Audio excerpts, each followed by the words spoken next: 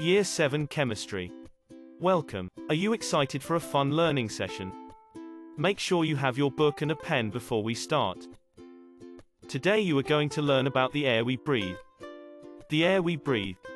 Air is made of particles, however it is not made up from particles that are all of the same type. The air we breathe is a mixture of gases, mainly nitrogen carbon dioxide oxygen and a small amount of other gases.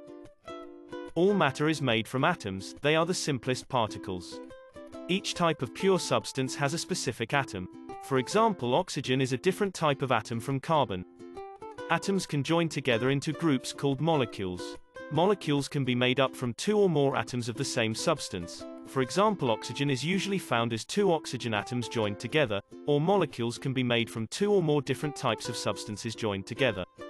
For example water is made from two hydrogen atoms and one oxygen atoms. All substances are made from atoms but substances that contain only the same type of atoms are called elements. For example a pure sample of iron contains only iron atoms.